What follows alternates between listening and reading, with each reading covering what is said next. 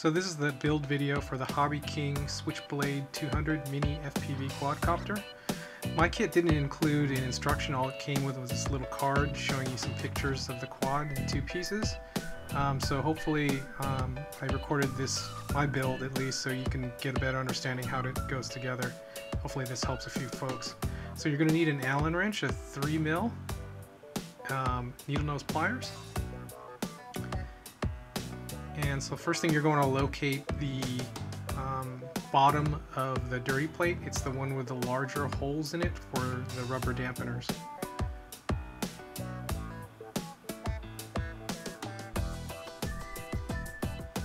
So you're going to need to install eight of these rubber dampeners. Um, they're kind of fiddly, but uh, you can use um, a needle nose pliers to help you pull them through. Just be careful, they're kind of delicate. Try not to tear them.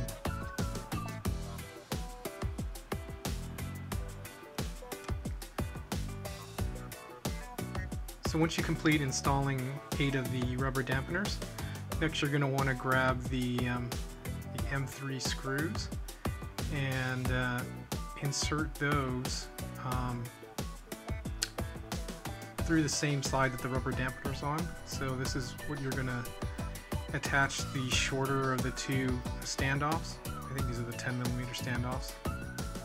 So I, I, I like to do it just finger tight first, just so you get them all positioned. And I'll probably go back and tighten them down uh, with the needle nose pliers.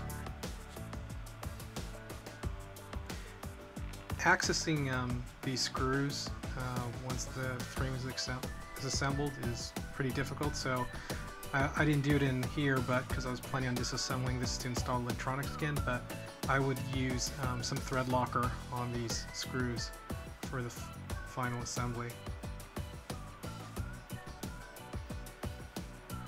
So next up gather um, the top plate of the dirty side, it has the smaller holes and this is what you're going to attach the arms to. Take note on the arms, there, there, there's a counter section and that has to be facing down.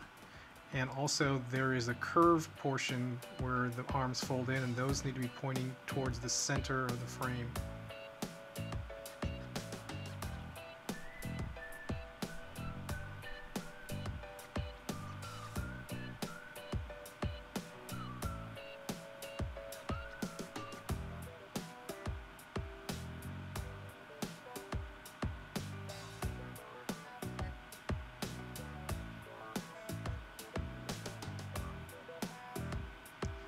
Okay, now that that's assembled, um, I just kind of folded up the arms. Um, it's going to help um, with assembling the next part if they're not flopping around.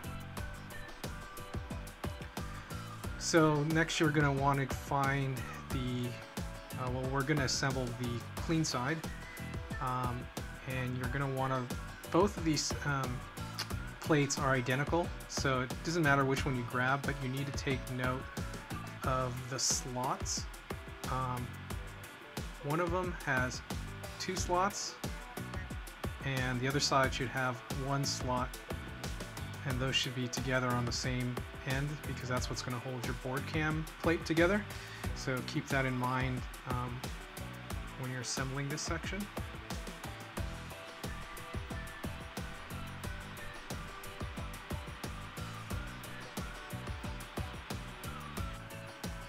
So you're going to use the longer standoffs. I believe these are the 37 millimeter.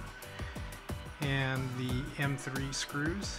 Um, all the screws are the same length, so you really don't need to worry about grabbing the right length. So we're going to attach eight of those um, to the top plate of the clean side. And uh, here I'm just finger tightening them and then I'm going to go back and uh, use the uh, needle nose plier and Allen head to tighten them down. Again, uh, you're going to want to thread lock these if you're doing this as a final build.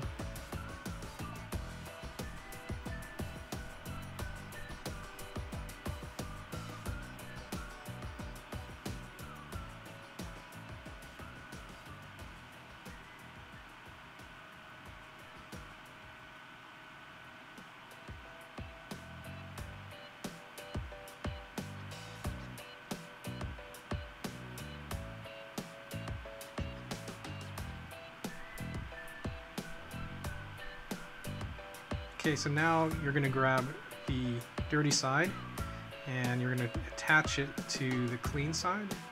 Um,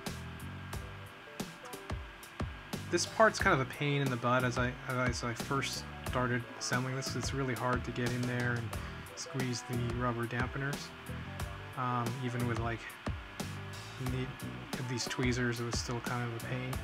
Um, and I'll, after a few attempts, I'll show you um, the best way I figured it out was to use the, um, the tweezers to actually pinch the ball from the underside and feed portion of the dampener through and then just use my finger to grab the rest of it. And as you can see, it actually goes in much easier. Just be careful not to, again, tear the rubber dampener.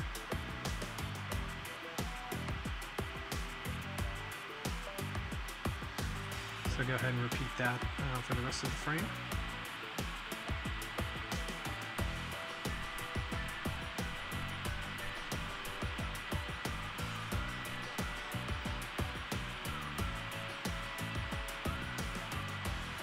You can see it's probably the most tedious part of the build is installing the dampeners.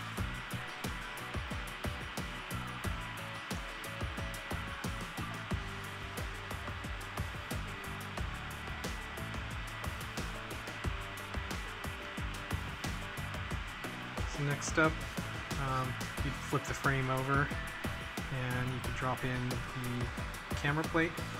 Again, if this was a you know, full build the electronics, I would install your board cam first onto the camera plate.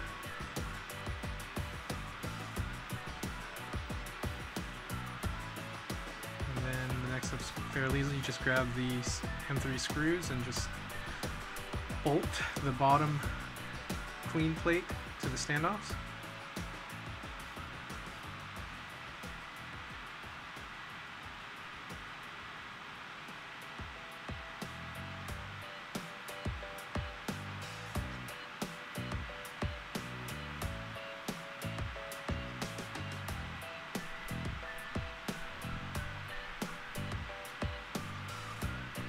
So there you have it.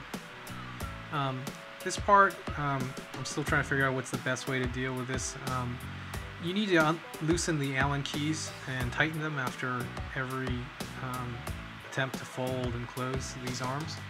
So just make sure you check that every time you're getting ready to fly or fold it up. You may get a set of thumb screws to replace these Allen heads to make it easier on the field. Um, those extra screws are for the motors,